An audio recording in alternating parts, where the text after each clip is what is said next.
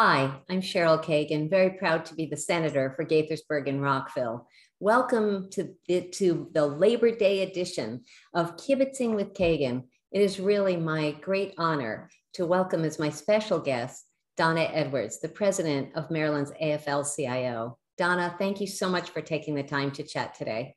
Thank you. I was honored with the invitation. Absolutely. So before we start, some people may be confused by the fact that there were two ferociously successful and important Marylanders named Donna Edwards. How often did were were people confused?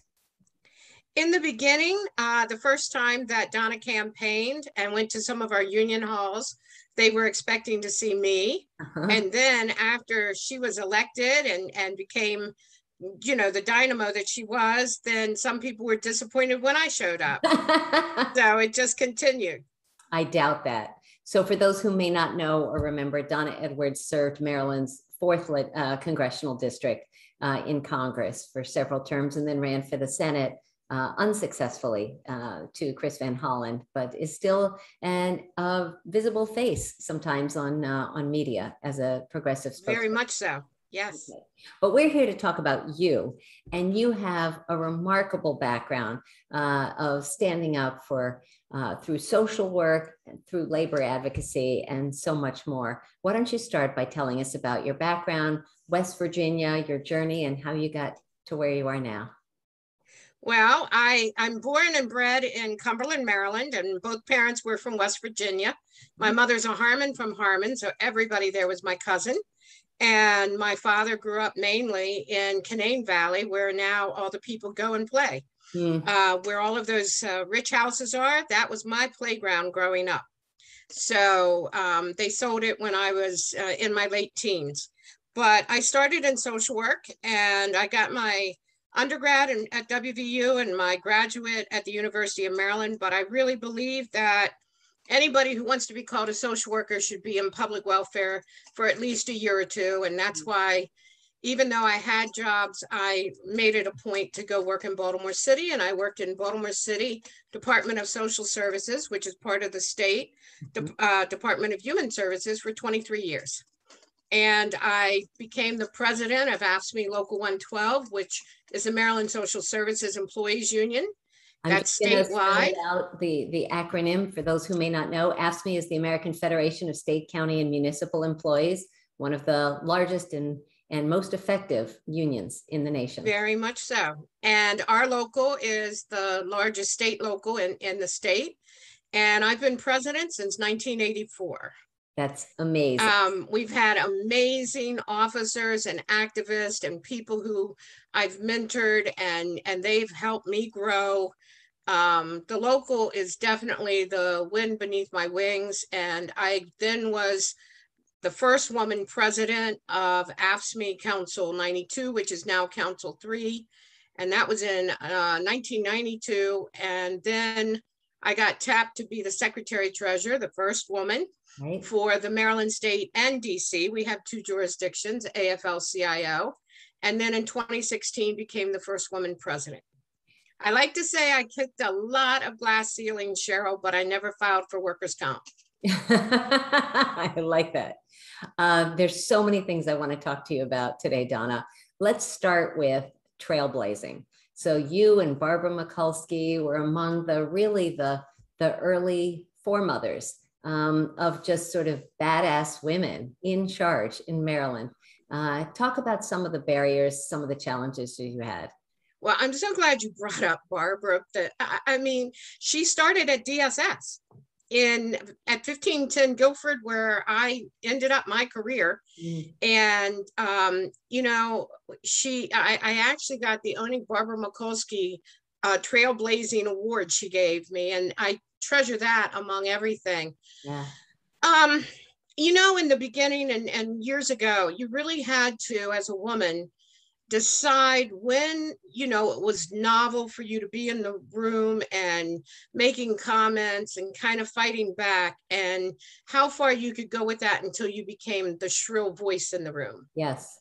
And with me starting so young i was a shop steward at 23 Wow. Most of the leaders uh, of the unions and especially within the AFL-CIO in Baltimore Metro, they were older and I was only a few years older than their children or their mm. daughters. And so, you know, I had to kind of have respect for that. Sure. And um, I still do. And, you know, generations, uh, backgrounds, culture, we all embrace each other different, talk differently. Sure. Um, you know, I grew up in a family that was pro worker, pro union, although it, it was a split family. My father was a Democrat, my mother was a Republican. Oh, my. And so, you know, that's why I listen to both sides and yeah. form the relationships. There you go. So, years before, decades before the Me Too movement, did you ever experience or how how bad was it? Were you sexually harassed or more just patronized? It, it is really strange that i was talking with gerald jackson who's the secretary treasurer of the state fed uh, earlier today. And we were talking about you know just harassment in general bullying um, sexual harassment. Mm-hmm. and he said he's really glad that women's voices are heard and listened to.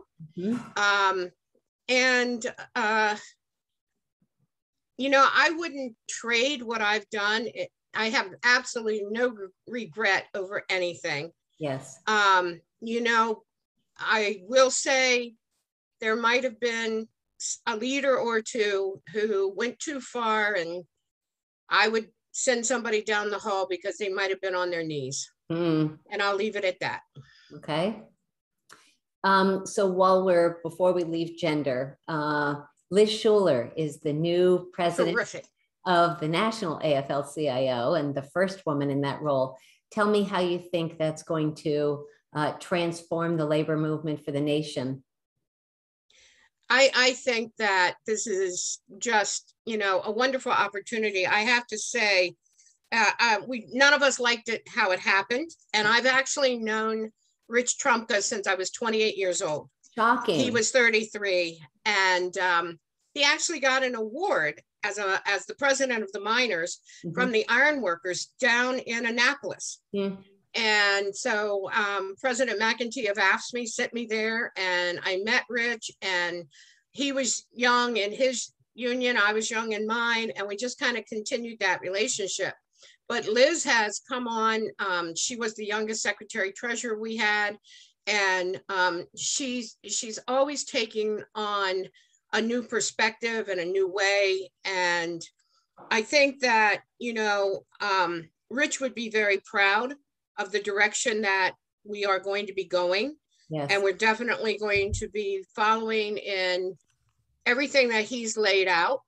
Um, obviously it is a well-known fact that uh, we were a totally unified movement in uh, moving forward on getting Biden elected.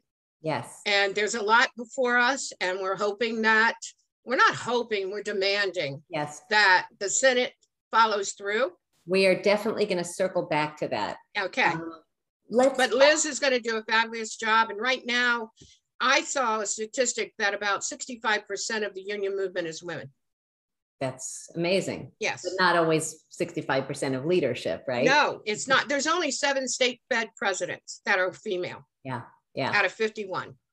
So let's talk about the reality of the numbers. So union membership has been declining over the years, um, which is a challenge uh, in so many ways. Why don't you start for those who may not be aware the importance of the union movement uh, in some of the rights we take for granted the 40 hour work week the eight hour day no child labor and stuff. Why don't you talk about those? This this episode will be airing on labor day when we should be which, honoring which and remembering our workers.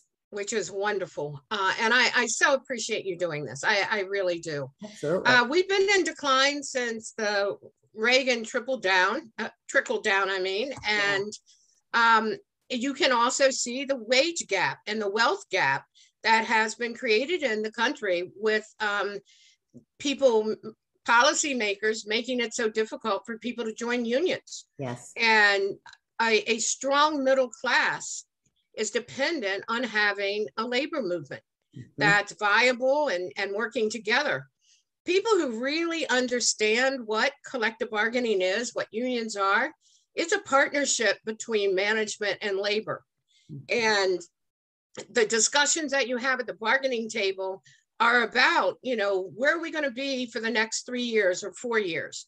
And there should be a sharing of the wealth. There should be a sharing and a value and a dignity in all work. Respect, absolutely. And that's all that that is asked for. The Mhm. advantage is um, with you, women make more, men make more, people of color make more. Everyone, if they have are in a union, but we Yeah. lift up every other group that's around. And so, I mean, even public education was fought for by the unions Yeah. in the early 20s and 30s Yes, child labor laws, all kinds of protections for workers. yep, Um, even with COVID, we we had to stand head and shoulders and, and fight like hell, not just for essential workers that you could see, but for all the people that were behind the scenes. that is one of the questions I wanted to ask about. But I have to say, one of the things that makes me crazy is the renaming of DCA uh, Airport, National Airport. After Ronald Reagan busted the Air Traffic Controllers Union, the idea that they would name that airport in honor of him, in memory of him, is just nuts. So I always call it DCA or National, but I won't call I it. call it national. Yeah. Um, so let's talk about COVID. Certainly, teleworking uh, was beneficial for many workers in staying safe and saved commuting time and all that. But it also meant less opportunity to collaborate to build the relationships between workers and supervisors and all that. Tell me, tell me how you think teleworking is for for the union movement. I think that that's why it's such it's it's exciting that we have Liz Schuler as president because she has seen that work has been changing. And even at our 2017 convention of the AFL-CIO, uh, we we established uh, a whole committee on looking at the way that work is changing. And I did at our last convention um, because we we knew even before COVID that the way that people earn wages is, is going to be very different. Yes. And with the gig economy, et cetera. Um, I think in, in total though, I'm very concerned, and this is where the social work comes in, of our mental health no question. during, you know, how are we going to recover, not, not just from this isolation, but like you said, all the opportunities of growth and forming relationships and having relationship with your coworkers and with management Yes. and then being part of the the broader community which you know union members are all very active in the community most of the time Yes. and so i'm i'm concerned that our country our people were angrier or short tempered um there's divided. just exactly Mhm. and and that's a symptom Yeah. that goes back to issues of mental health not it's not the issue um and and we're seeing the violence more and more Yeah. um you know you see it on the buses you see it with the postal workers you see it On everywhere. I mean, everywhere the airplanes Ah, you know um So as, as you know, I've been working for mental health coverage and even workers' compensation for the courageous women and men under the headset uh, in our 911 centers yes because they have brutal jobs. They have to listen to suicides and murders and dying family members, and it's just awful. And they're expected to hang up and take the next call. So, yeah, no and i think that's a big issue and and i will say right here i want to work with you great, a lot more on this issue great. Would love you that. know um we have very courageous men and they shouldn't have to be courageous Yeah. all around our union movement and who have taken this on are you know firefighters and Yep. EMTs and said look it takes a strong man to ask for help it takes a strong woman to ask for help Amen. and that's what we need to destigmatize yes, mental health your brain is just an organ yes. like everything else and it needs help now and then Amen. So I don't want to detour into 911. Okay. You know, I can talk about that all day. Yeah. Um, but I will tell you, um, we lost another 911 specialist to um, death by suicide in Harford County recently. And uh, so this is not a hypothetical challenge. It's mm-hmm. it's truly a, a, brutal, really tough tough job. But let's go back to um, essential workers and how is it that that essential workers had any rights through COVID or continue to have? it's disappointing. I, I, it's still disappointing to me, Cheryl, to be honest with you. Um, you know, we had a good try with an essential worker bill that got completely watered down. People were talking about them being heroes and wonderful, and then now let's let's get back to work. Get yourself in there. You know, whether it's a crap job or, um, you know, job business. Just like workers have now decided to take a different look at their value Mm-hmm. And I think that that's what's going on. People say, oh, no, it's because they got all this money. No, right. they feel valued. Over 60% of people during COVID took online classes. Mm-hmm. They also saw that their family life improved. They also saw that their scheduling, they're not going to go to jobs that say, uh, you've got to be on my clock, not your clock. I don't care that you have a two year old or a 17 year old or that you want to take classes. That's not going to work for people anymore. Right. And so the essential worker, we had to fight like how we still are. Um, I think it was also, a, a, it, it talked about our society that retail workers and bus drivers and others were pitted against the public that didn't want to wear masks. Yeah. And they had to fight it. And they have no training on that. Mm-hmm. But they had to say, put on your mask and, mm-hmm. and face all of the abuse of people who didn't want to. Right. It's we haven't rewarded them enough and we never will. And I'm going to keep preaching that forever. Good. So let's go back to the Biden Harris administration and mm-hmm. how exciting that we have Biden and Harris helping lead our yes. country. And certainly the transition from the Trump administration uh, was by definition going to be challenging uh, and rocky, but uh, but the priorities and the the policies are are back in a good direction. Tell me what some of your uh, priorities are and your hopes and expectations from this administration. Well, our number one priority is that, well, I can't say it is number one. We want to pass the PRO Act. And the PRO Act is so important because I know people do not believe in this day and time that workers get fired for trying to form a union. But we have a perfect example at the Walters Museum in Baltimore City, where we're trying to organize. Over 70% of the workers are, you know, have signed interest cards for the union and and they've let go one of the major activists for the union. That's now, that's today. Mm. And when people say you don't need the PRO Act, yes, you do. Mm. You need that because the, the rules have just been changed so far away from having um, a, a, just way of dealing with most of the businesses. Hmm. And so, even in this state, we tried to run a bill that would allow union members to still deduct their dues, but also there was a bill that would not allow businesses who hire anti union lawyers to take that off as a business expense. Mm-hmm. Well, of course, that wasn't allowed. Uh, you know, they have to have a business expense for being anti union. Mm. So, but you're not rewarded for being pro union. I'm disappointed to hear about the Walters. That is totally my favorite museum in Maryland. It's a beautiful place. It is. I hope they come around. And workers, I mean, you know, librarians and museum workers. Right now, we have the highest, we being unions. The, the polls show people really support unions and would join by the millions if they had the right to do it. Yes. And if they could form a union. Well, let's talk about a success you had last year. Finally, community colleges.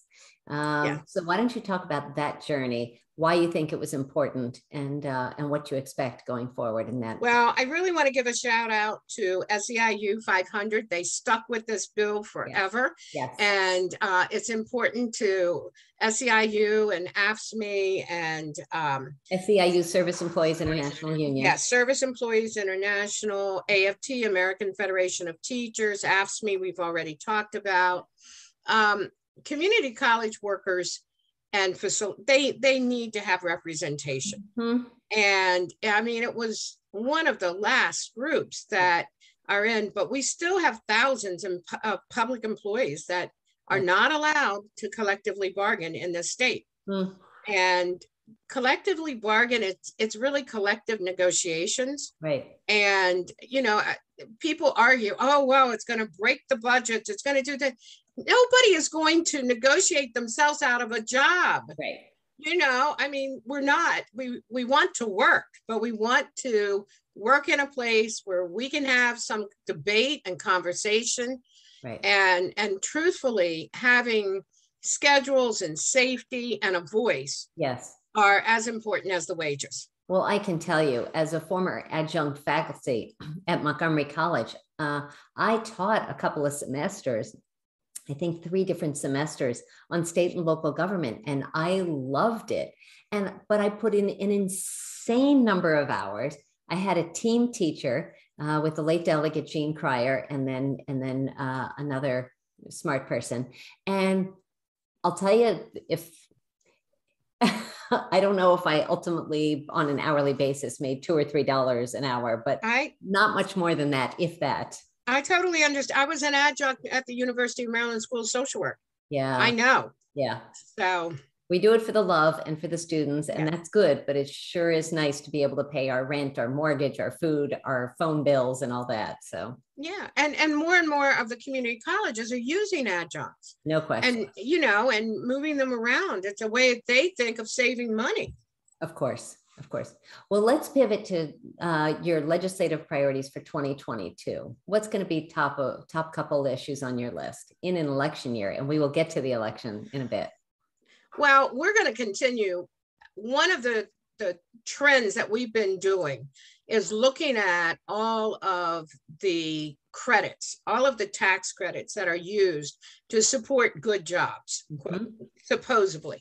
Mhm. Um, and in Maryland, the majority of money that is spent um, on these tax credits is coming from income tax. And that income tax generally is coming from the bulk of people that are workers from 50,000 to 250,000. Mhm. And so, I mean, it is just not a correct policy that we are not enforcing and making sure that when we use taxpayers' dollars for a business to create jobs, that they are not creating high road jobs, Right. jobs that are paying more than 15% over the minimum wage, jobs that have health care and a retirement, and also have a career advantage Right. And have scheduling, you know, these kinds of things, the right to organize and, and to always make sure any tax credit should include that the employer is paying workers' compensation and unemployment taxes. Okay. Well, look forward to learning more about that. So let's pivot to the reality that 2022 is an election year. Let's start first with uh, what do you hope to get in our next governor? What do you hope to see? What characteristics? And do you think the AFL CIO will be endorsing a candidate for governor? For me, and I, I'm only going to speak for me right now, Sure. I want a governor that wants to govern the state of Maryland. It is not looking to become something beyond the governor of the state of Maryland. Okay. we need someone focused on that job and in wanting to truly uh, dig in and get some things right, straighten some, some other things, you know, policies that are not helpful, um, move them around. Maryland has way too big of a spread in, in the wealth gap for being the richest state. We have far too many people, over 56%, receiving some sort of public assistance Mm. way before COVID, Mm. way before COVID. So we have the haves and have nots in this state. And this should be a state where we have an economy that works for everybody Right. and that everyone can thrive. And it doesn't matter where they've been born or to whom they've been born, but the opportunity is there in Maryland. And that's what we need is a person who wants to govern. Amen. What do you think? Well, let's go the negative, then we'll go positive. What is um, what is the policy issue that you most fervently disagree with current governor Larry Hogan and what he's done the last eight years, seven years? Wow, that is a hard thing for me. I, I think that um, I don't think that the door has been open to the unions. I think that he has really um, shut off communication with the leadership of the state employees, mainly AFSCME. Mhm. And, um, you know, whether or not people like each other in politics, we all have to get along when, when we represent the same people. Agreed. And so we need to move that forward. Yep. Um, I will tell you that I'm the first woman, as I've said, but I am the first president that has not been on the Board of Public Works, uh, not the Board of Public Works, um, the uh, Workforce Alliance Hmm. that the governor has. And Hmm. I've asked for that appointment um, for several years. In fact, I should have replaced the outgoing president and did apply for that. Hmm. Um, so, and and I do think that um, definitely uh, the mishandling of the unemployment and that decision was mishandling. it really was And I- it's and it still is way of saying it. It's it's Yes. been just nightmarish. These yeah residents, my constituents in, in Rockville and Gaithersburg, who earned unemployment benefits and are still waiting months and months and months and months. It's insane. it, it is insane and you know i mean you can blame so much on a new system Right. a new data system and then you have to to really look at where's the management of it But there's a second new data system, and then there's a third new data system. At some Right. point, you want to get deliverables, right? You would think You that they would have tested them a few million times before buying them and it has Right. fail again. Um, tell me something that you think Governor Hogan has done that you applaud. Wow i you know I, cheryl i have to be honest i don't pay much attention to what comes from the governor Okay. um so you know i'm not i, I really just don't know okay. right offhand what i could say That's fine. Uh, talk about the legislative elections in 2022. Um, any goals, thoughts, priorities?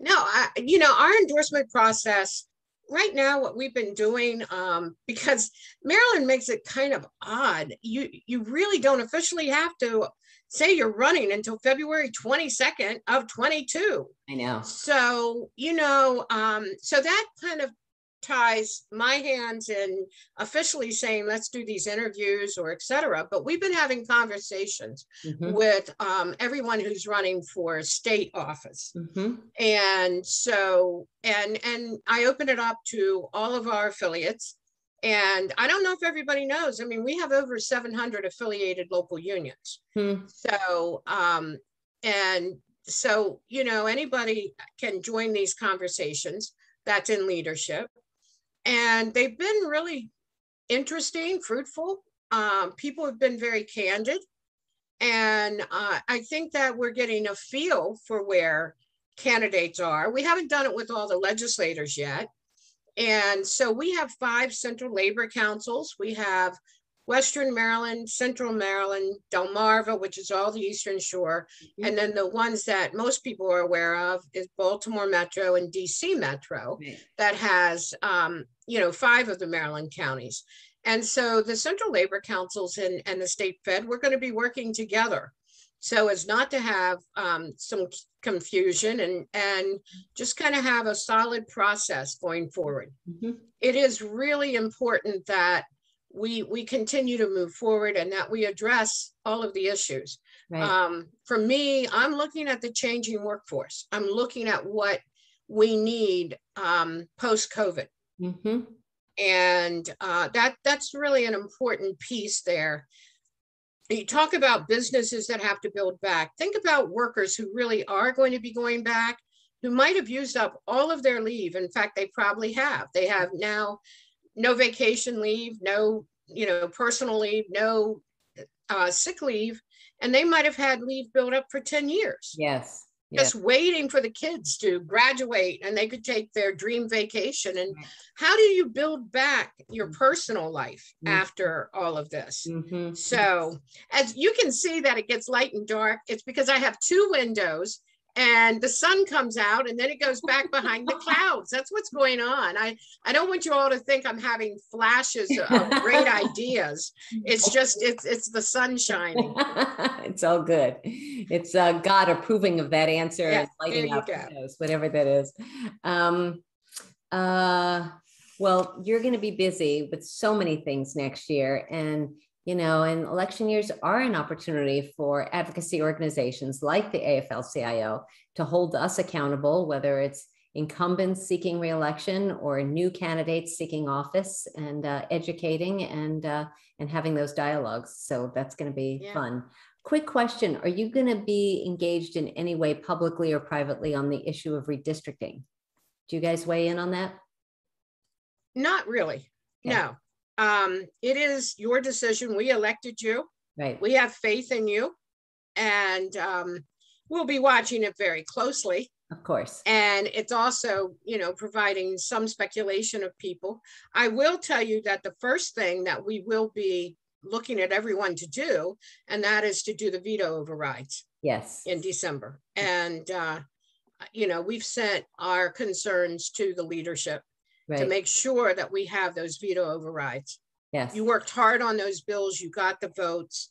We Mhm. need to move forward on those, Yes. you know, and we'll be watching closely too how the state works with uh, the Biden administration in receiving so much of the money. Um, obviously, we want the PRO Act, but we also, the infrastructure bill is huge. And let's face it, we have got to protect voting rights. We have got to, or this country will change for the worse in a very short amount of time. I So we are very much fighting for voting rights. Good, good.